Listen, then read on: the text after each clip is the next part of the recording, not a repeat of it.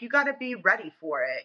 You have to expect, like I said, put in the time in, um, training them. You have to expect the financial part of it because just because you adopt a dog and you pay like a couple hundred dollars adoption fee, that's not it. Like you have to pay for the food, the vet, this, that. Like you got to be ready for that, you know. Especially with French bulldogs, they are very expensive.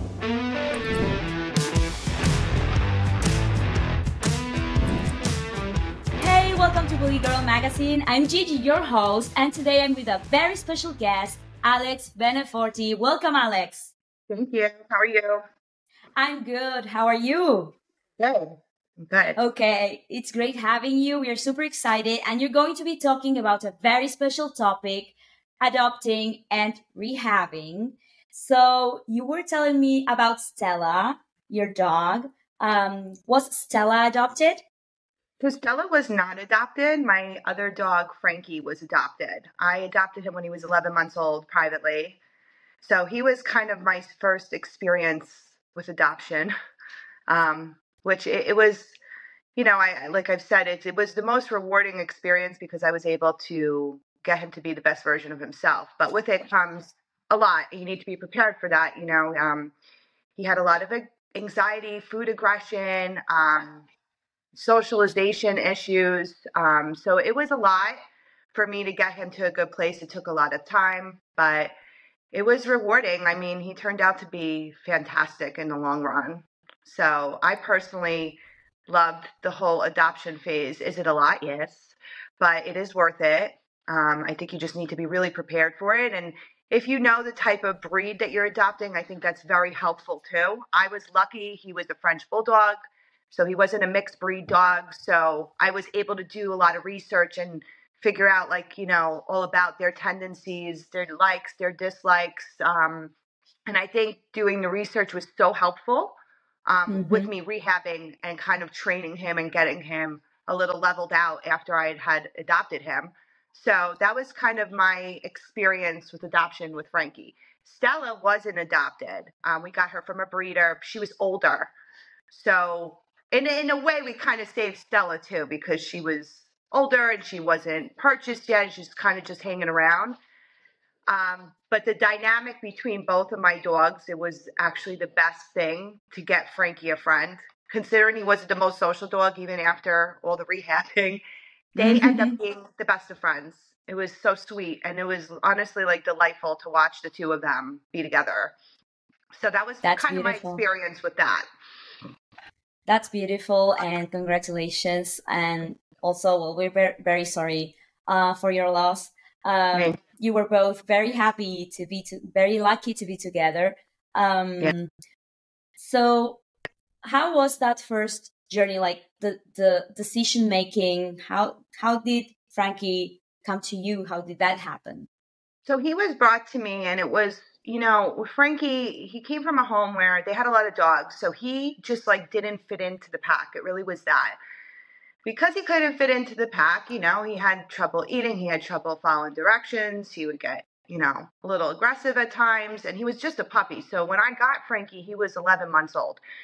So they had brought him to my house and they're like, listen, you know, this dog needs a home. And I was kind of in a place where I wanted a dog at that point. And I just remember seeing him and he was like so skinny so sad. he just like didn't even mm-hmm. look like a French bulldog. And I remember just holding him and it was like I just knew like he was supposed to be with me. And there's these funny little things that kind of happen along the way. Like we had the same birthday, I found out. So I celebrate my birthday every year with my dog. Um, but it really was that instant connection. It's like I knew I had to take him and I had to like help him. And I did. And it was the most like beautiful journey. He actually trusted me pretty quickly, which was good considering he had such bad anxiety issues. But the the work I had to put into Frankie really had a lot to do with like other people, other dogs. Being in a situation that was just too much for him, like he would get triggered. So like I never brought him to dog parks right away. And if I took him out in public for like a walk, I actually had like a tag on him like do not pet because he didn't like it.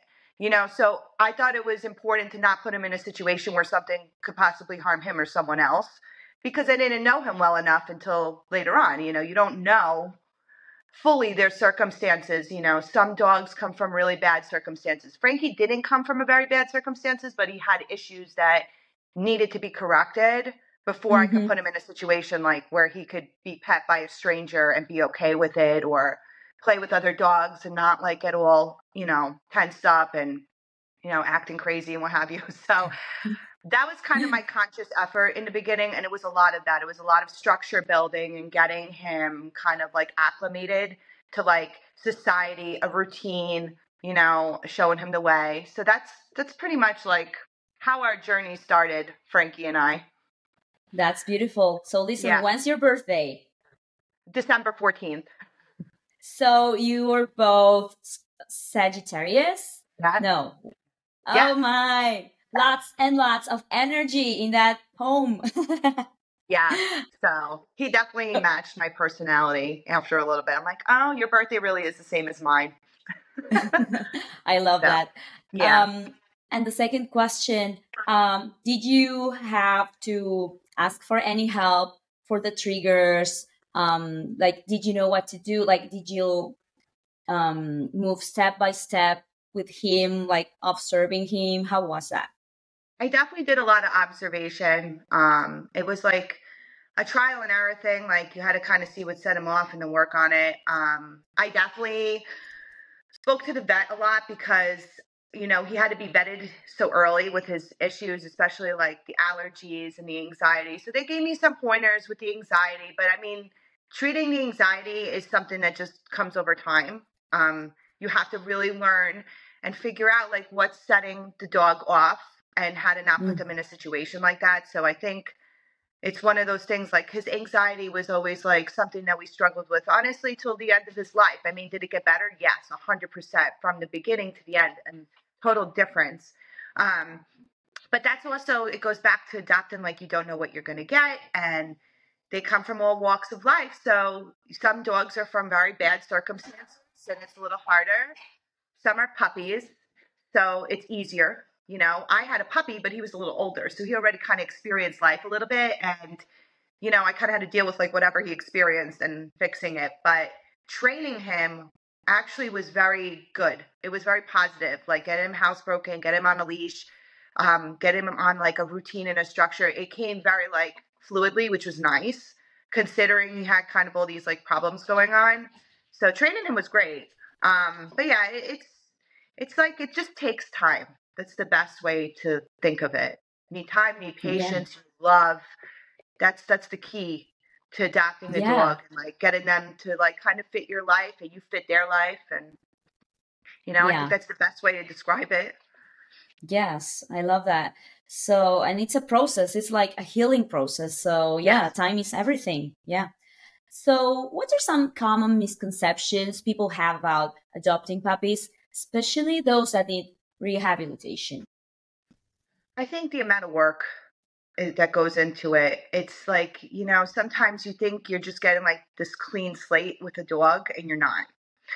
And you really have to be like prepared for like the whole picture. You know, you have to be prepared to like build a bond with the dog, build trust, teach them, guide them.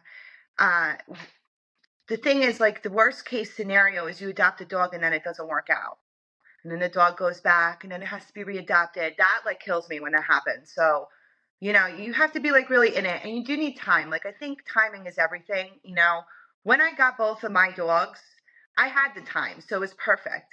You know, when I got Frankie, I had a little bit of time where I could get home early and I could be there for him and I could have someone walk him and what have you. When we got Stella, it was during the pandemic, so we were home a little bit more. So I was able to train her and be a little more involved. So I think timing's everything. I don't think you should ever get a dog when you don't have time. Like if your life is completely overwhelmed, probably not a good idea to adopt a dog, you know. But I think the best thing is get a dog when you have time and when you're willing and able to give them a lot of patience and love and training and and truly like be there for them because building that bond with that dog is crucial, especially in the beginning. It sets like the tone for how your life's going to go with your dog. So that's like kind of my advice. I think just the misconception is that it could be easy you don't know. You know, it's definitely easier with a puppy that's just a, a, fresh little litter, you know, and they, they haven't learned anything about life. I think once the dog gets a little bit older and older, you have to expect some behavioral issues, anxiety, um, vet bills. You have to be ready for that. That's my that's my perception of like what the misconceptions could be with adopting a dog.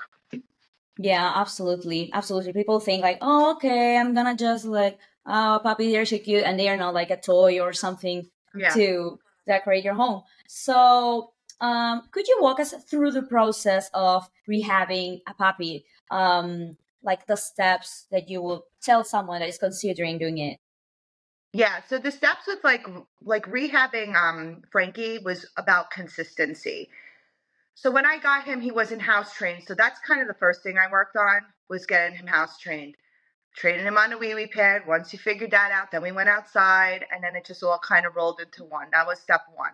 The food aggression was step two.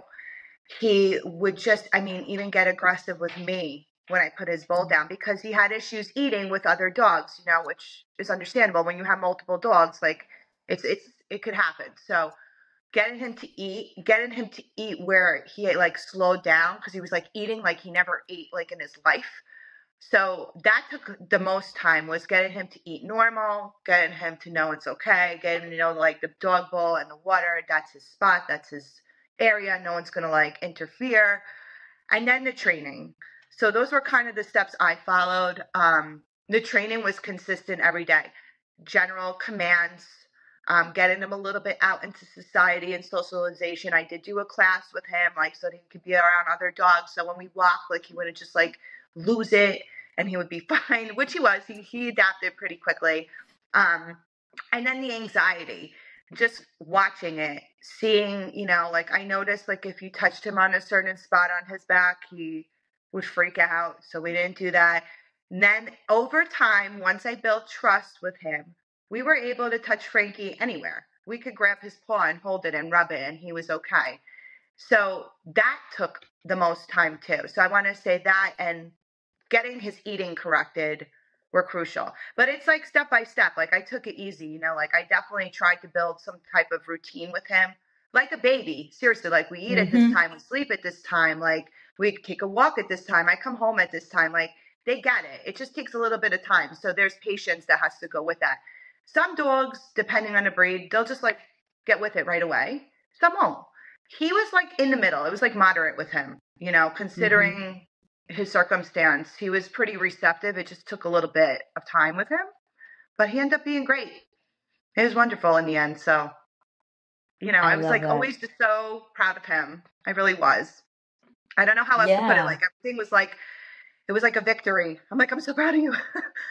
so yes, you know, I and just it's just be. like the first year is like a blur. It really is like having a baby. Like it's a blur, and then everything kind of falls into place. And he fell into place. He ended up being the best version of himself with all the like time and love that I put into rehabbing him and getting him kind of like in a good place. You know. I love this story. And yes, you were telling yeah. me this like he was reactive to places you touched him and yeah. that he could relax and enjoy being petted, you know. Um that's beautiful. Like I'm really happy that that you put yeah. all these efforts like to like accept love and just be loved. And that's that's was like the biggest bond I had to build with him. But like I said, we had an ex- instant connection because Frankie was like my boy he was great. So, like, I'm so happy that. I could smile now because I've had such a rough, like, couple months.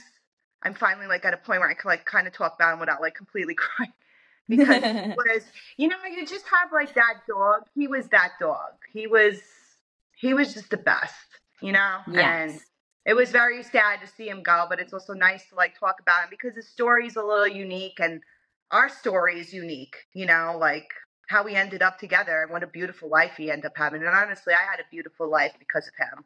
So yes, I feel really lucky to have experienced the whole thing with him. I really do. You are. You yeah. are. You both are. And it's beautiful, really beautiful. I'm this is so sweet. Um so what would you what advice would you give someone that is considering of adopting and rehabbing? So, what would Thank you say? I think, you know, just be ready and do your research. If you know the breed, that's always a positive. That's not always the case. You know, a lot of dogs that are adopted are mixed breeds, so you kind of have to like figure that out afterwards. Um, they do tend to know a little bit, like they're they're they're mixed, you know. And I think, you know, I think all dogs like have hope. It's just about like really putting the effort in, you know. Um, whether it's a French bulldog or a pit bull or whatever the case is, you know, every dog should have a chance, you know, but you have to be like, you got to be ready for it. You have to expect, like I said, put in the time in, um, training them. You have to expect the financial part of it because just because you adopt a dog and you pay like a couple hundred dollars adoption fee, that's not it. Like, you have to pay for the food, the vet, this, that. Like, you got to be ready for that, you know, especially with French bulldogs. They are very expensive. I know I have I've I had Frankie and I had two at one point. Now I have Stella, and you have to keep their health in check. They're very delicate. They are susceptible to all sorts of allergies. They could get IVDD, which is a spinal injury, which is super common in them. Um, they get a lot of like weird skin allergies too. So like sometimes you need to get them Cytopoint shots. I have to do it for Stella. I had to do it for Frankie. There's something in my grass that would just set them off you know, it's like these little things, they just happen and you have to really be prepared. So I'd say, like, be prepared, you know, for all of it. It's such a big responsibility. Uh, you need to be like, have the time, have the patience, and financially be able to take care of the dog and give it a loving home. You know, I think those those are the most important things when it comes to wanting to adopt and rehab a dog. Yeah, I, I, I agree. I totally agree with you. And you know, with all this comes also the good part, you know, a lot of responsibility. But what would you say were the most beautiful aspects of adopting a French bulldog or a puppy? I think the most beautiful aspect is when they really like start to trust you and love you and they just become part of your life. You know, I think Frankie was he had just such a hard time trusting people that I became like everything to him. My husband too, but I was a little more his person and I could say that. Mm-hmm. Mm-hmm. And I, I think you just have like it's such a selfless act to adopt a dog and take care of them, but I think the ultimate reward is the love that they give you. You know, it's like the biggest thank you you could get for saving them and giving them a beautiful life. And I just felt like every single day was like a blessing with him. He was my shadow. He was everywhere with me. I could walk outside and he would just stay right next to me. He was my dude. So I had this incredible like experience with him and I think it just made me so happy like how much progress he made and how much love he was able to give and how funny he became. Like he really came out of his shell.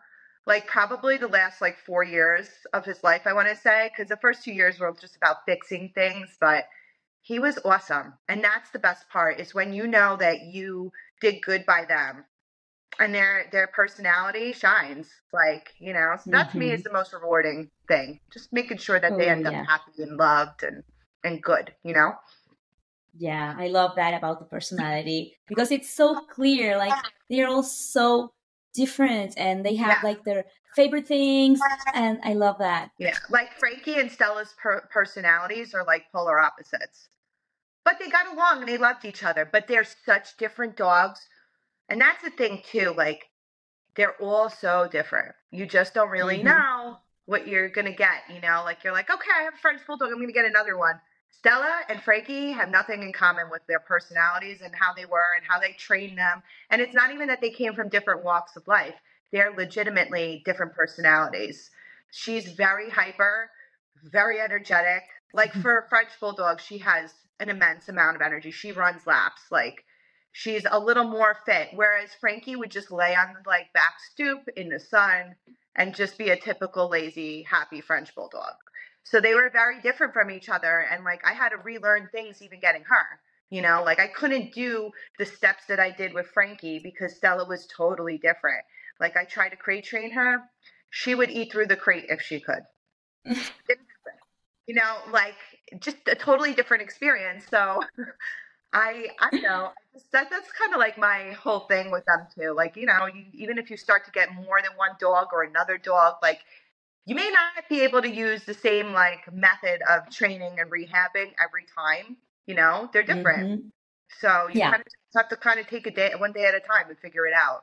You know, there's no right yeah. or wrong way to approach it. You know, um, so that's just a little, little bit on the two of them. yeah, I I can't imagine Stella eating through the crate. Oh my god.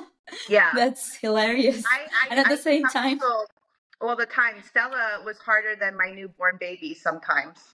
Like I did not sleep for like three months with her as a puppy because she wanted to like be the, you know she wanted to be in the bed already with us and Frankie. So she's in the crate. She's like gnawing out of it. I'm like, oh my god. so she was just different, but she did do things quicker because she wanted to. Like she wanted to not sleep in the crate. She wanted to go outside. Like she was just ready. And I'm like, I'm not ready though. I'm not ready. You're like, and she was so tiny when I got her that I was like, you can't just like run out. Like, so it was, it was, it was such a different experience. She's great though. Like now she's totally trained. Like she's wonderful, but she was like very, she was a very funny French bulldog to train and a little different. It's from a different lens with her. Like I said, I didn't particularly adopt her. Um, so they just were so different from each other. But I enjoyed like both versions of the experience with both my dogs. I really did. Yeah, I love that. I love that. So, what role do you believe education plays in promoting responsible puppy adoption and ownership? Comes back to like what we touched on before, just doing your research, understanding, being ready for the expense that comes with it. You know, not everyone could train a dog. Sometimes you need a trainer. It's expensive. Vetting them is expensive. So I think like with that, I mean, anyone could be responsible. You know, I want to believe that if you're willing to adopt a dog, you're willing to take on responsibility for them to a degree. Um, but you have to have the patience. You have to really be ready for that experience. And I think having like, you know, your research, your education on the breed and kind of knowing like the steps of training, I think that all creates like a good environment for the dog also and done. And then the love. The love is key. If you love your dog, it will just it will love you back 10 times over. Like that's what they that's what they need. You know, they just need yeah. a lot of love, a lot of guidance. So I think that like is the most, you know, important thing. You know, to be responsible, mm-hmm. like you have to be in a situation where you're able. So mm-hmm.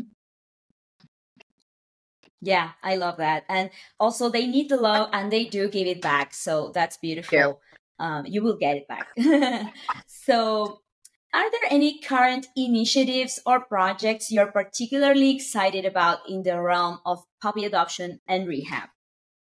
Well, right now I'm not doing much because I have Stella and I just lost Frankie. And I think I need like time to kind of get over Frankie a little. I'll never get over Frankie, but just I need the time to like get myself in a place where I'm ready to get another puppy, which I do want another puppy. But I also know like I can't replace him.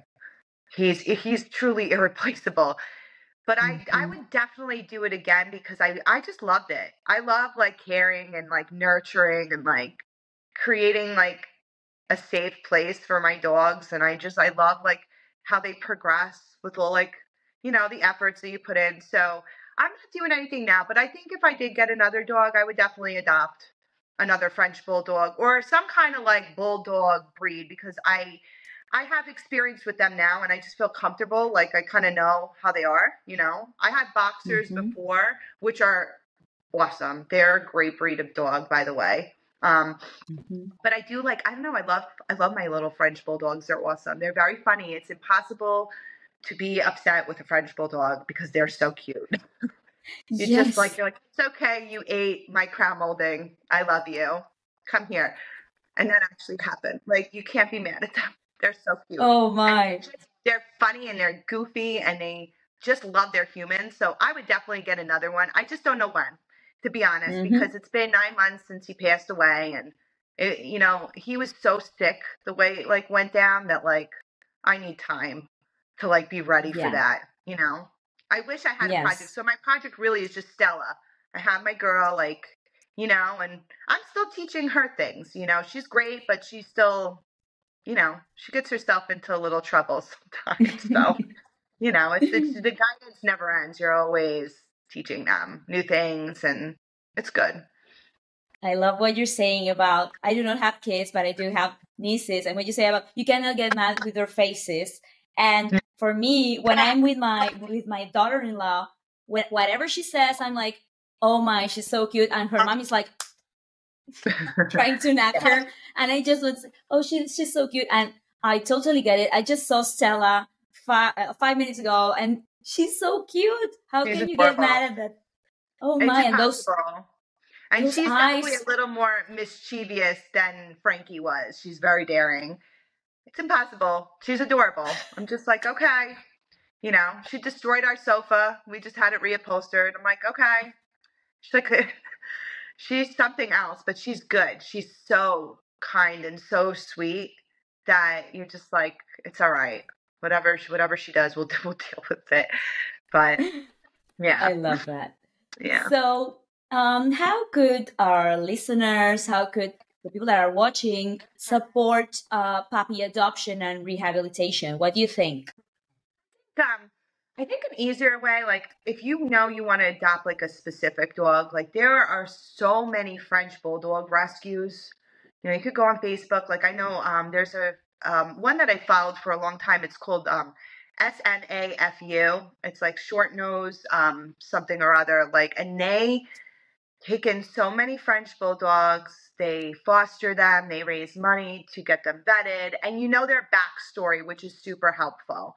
So you already kind of get a little insight on like if there's any issues, if they could be homed with, um, you know, a house that has children or multiple dogs or not. Like, I think looking into these like private rescues is very resourceful um, because they have a little more of a backstory because those dogs tend to have been surrendered, so they kind of know like what happened, and it's just a you know. then you're really like, okay, this is what it entails, and um, so I really like recommend that. You know, I would look into like you know rescue groups, and there are you know shelters too that are technically rescue groups. There are a ton of them in New York City, and they have a little bit more of a backstory on the dog. And I think getting a backstory is helpful. I had a little bit of a backstory, so it definitely helped me.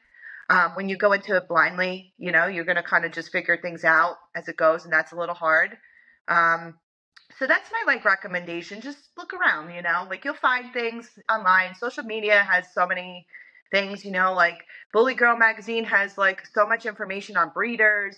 So if you don't want to do the adoption route and you want like a reputable breeder, there's a little hesitation, like you're always a little nervous, like finding a breeder for specific dogs. So it's all about research. Like, do your research, look into things, make sure it's like legit and like, you know, try and get feedback and reviews. Like, I'm all about that. I think you should really look into things like well rounded before making a decision. So mm-hmm. that's my like that's my advice if you're really like looking to adopt a specific dog or just a dog in general. You know, yeah, get feedback, that's look great. into everything. I think it's helpful. You know, yeah, that's great advice. Do your research and yeah. know what you're getting into and be responsible. That's great yeah. advice. Um, so you mentioned Bully Girl magazine. Uh, what do you think about Bully Girl magazine? Bully Girl magazine. I think it's cool because it's just a source of resource, literally. You know, um, it focuses so much on like the different bully breeds. Um, I like its focus on pit bulls because I feel like they need a lot of awareness. Mm-hmm. You know, um, I like that, you know, they, they spread the word on like supplements and you get people's backstories. You see p- pictures of people with their dogs and it's just nice. If you're a big dog enthusiast, it's a perfect magazine and app for you to like follow along with. Um, I've known about it for a long time, so um, I can't like you know, I can't thank you guys enough for having me on today. It was really special to me to like kind of share my story about my dog who meant the world to me. You know, um, it's almost like a little tribute to my Frankie. So thank you. I appreciate Please. it. Please.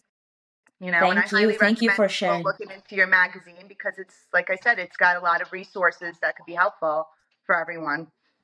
Yeah, yes, it does. So thank you for joining us and sharing your story with Frankie. It's really inspiring. We thank can hear Stella around there, like yeah. being mischievous. Yeah, she's barking at something. okay, so thank you so much. Is there anything else you would like to say before we wrap up? I think we're good. I think we touched on everything. So I hope you guys are like happy with, you know, everything I gave we you. Are. to go on. Yeah. You were great. You're great Thanks. on camera. I've thank you so much. This, so thank you. no, but you're really great. You're you you're really great. So thank you so much, Alex, for joining. This was so interesting and so important. We're super happy to spread awareness, and thank you for sharing your story and Frankie's stories with us. Thank you. Thank you so much for having me and allowing me to share, you know, a little insight on my experience and talk a little bit about my dog. It was it meant a lot to me, so thank you. Okay, thank you. And thanks everyone for watching. Thanks for joining. Don't forget to follow Bully Girl Mag on Instagram and visit BGM Warehouse to get some awesome bully breed apparel. Don't forget to purchase the latest issue of Bully Girl magazine. Like and subscribe. See you next time. Bye, Alex. Bye, everyone.